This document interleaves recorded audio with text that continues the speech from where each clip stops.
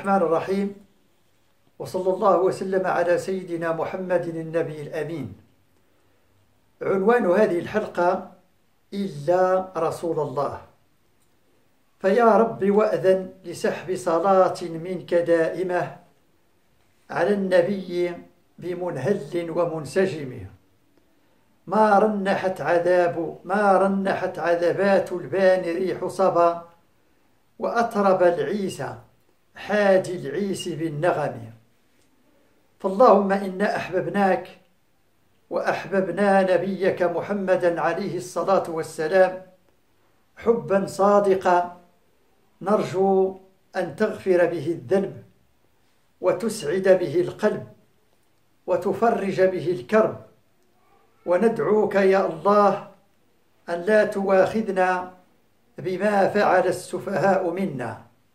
وبعد فإن حفنة من المنغلقين الذين أعمى بصيرتهم الجهل يحاولون بألسنتهم أو بأقلامهم أو بوسائل أخرى النيل من شخصية رسول الله صلى الله عليه وسلم تحركهم حسابات سياسية ضيقة مقيتة.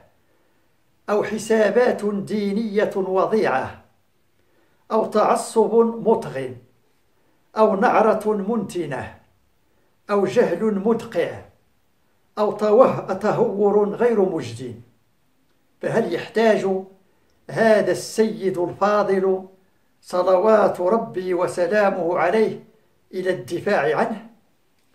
هذا الرسول صلى الله عليه وسلم كرس حياته كلها إلى رسالة هداية لم تكن خاصة بقومه أو بقبيلته أو بجنسه بل هي هداية للعالمين.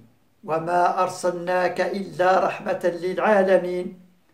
هذا هو السر الذي جعل هذا الرسول تتعلق به القلوب.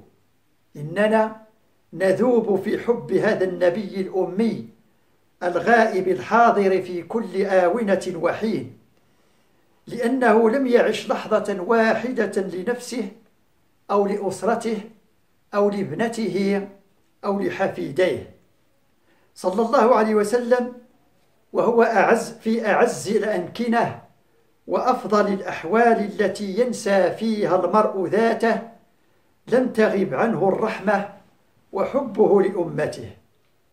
لما وقف أمام ربه في ليلة المعراج وسأله سبحانه بدون حجاب ولا كيف أجابه السيد الفاضل صلى الله عليه وسلم ربي لا أسألك عن فاطمة ولا عن الحسن والحسين. أسألك ربي أمتي أمتي أمتي.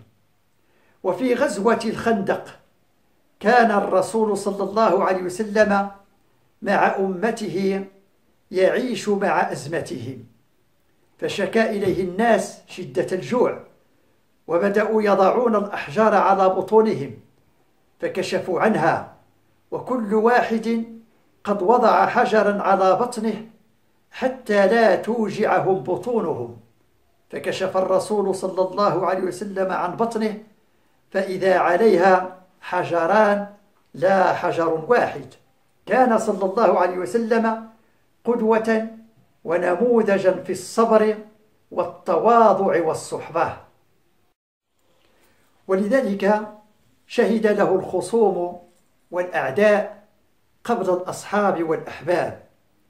يقول أحد الكتاب وهو ليس مسلما في كتاب له بعنوان محمد والمحمدية الذي ألفه في لندن عام 1874 ميلادية.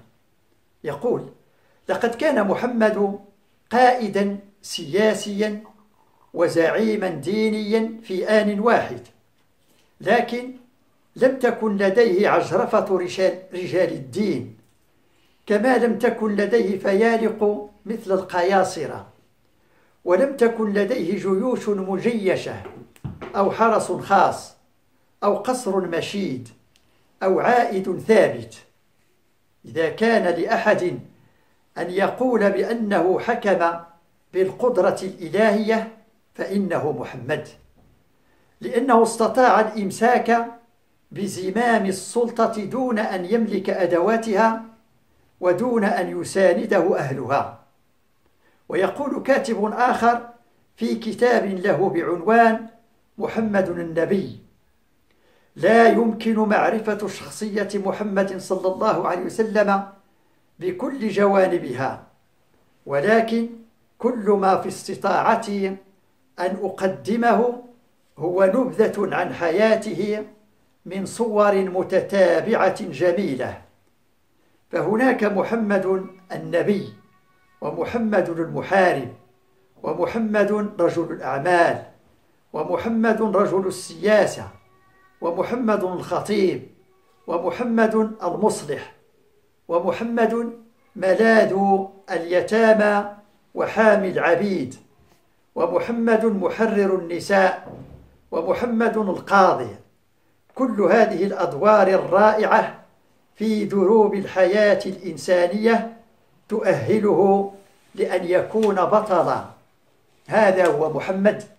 هذا هو محمد العظيم رسول الله صلى الله عليه وسلم كما عرفه ويعرفه ويقدمه المنصفون من علماء وكتاب الغرب. محمد الهادي العظيم الذي كان مولده فتحا ومبعثه فجرا بدد الله به جميع الظلمات وهدى به من الضلالة وعلم به من الجهالة وأرشد به من الغواية وفتح به أعينا عميا وآذانا صما وقلوبا غلفا. محمد صلى الله عليك يا سيدي يا رسول, يا رسول الله ما ذكرك الذاكرون وغفل عن ذكرك الغافلون. أنت يا سيدي يا رسول الله قيمة عليا. ولذلك فإنني أعلم علم اليقين أنك لا تضيرك سخرية هذه الشمطاء ولا غيرها مهما عظمت أو تكاثرت لأنك سيدي يا رسول الله محمود في أعلى المقامات أنت رسول الله المعصوم ونبيه الخاتم العاقب وعبده الصالح أنت محمود عند الناس لأنك قريب من القلوب. حبيب إلى النفوس مبارك أينما كنت محفوف بالعناية أينما وجدت. سمعتك سيدي يا رسول الله مصونة محفوظة وذكرك مخلد مرفوع. سيدي يا رسول الله لم تنل منك الجاهلية الأولى بغطرستها وعنجهيتها فكيف بالجاهلية الآخرة التي سببت في كوارث خطيرة هزت أركان العالم. ولنعلم أن الاستهزاء بالأنبياء مسلك الأشرار وسبيل الفجار.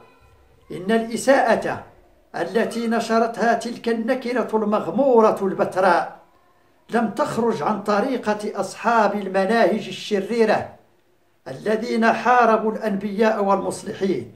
فقد نبأنا الله تعالى بأخبارهم في كتابه الحكيم فإن كذبوك فقد كذبت رسل من قبلك جاءوا بالبينات والزبور والكتاب المنير. إن محمدا بالنسبة لنا ليس شخصا عاديا بل هو عقيدة هو أسوة وحياة وقلب وحب وعقيدة ومنهج. إنه رسول نقدمه على أنفسنا ولا نقبل المساس به لا تلميحا ولا تصريحا فالله تعالى قد أوجب علينا نصره وتأييده ومنعه من كل ما يؤذيه. وأوجب علينا توقيره وإكرامه وتشريفه وتعظيمه.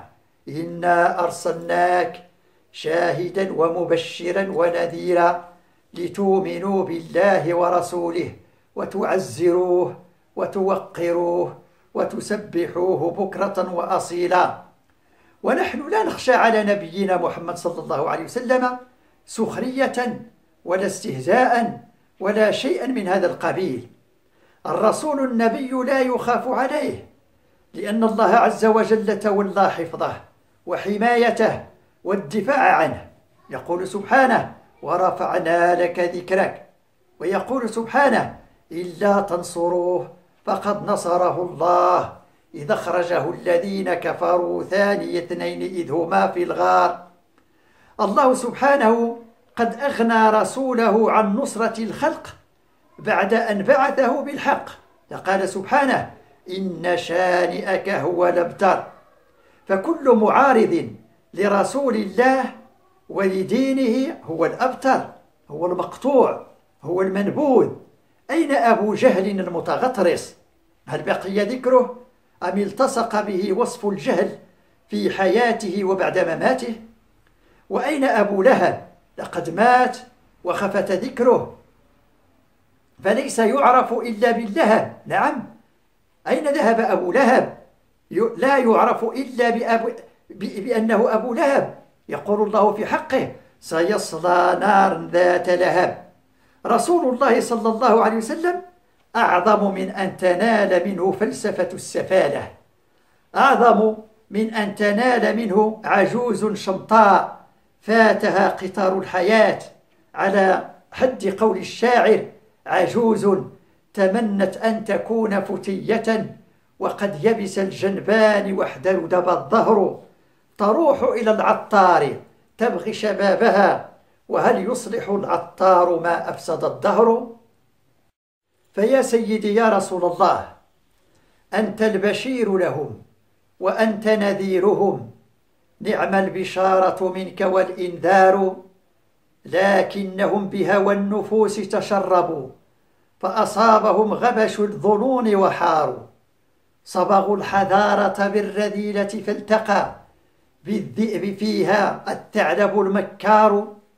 ما عجوز القوم ما سفالتهم يصغي الرعاة وتفهم الأبقار.